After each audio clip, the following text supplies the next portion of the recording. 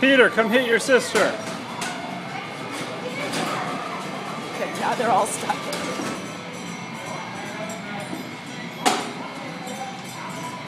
Turn the wheel the other way, Lex.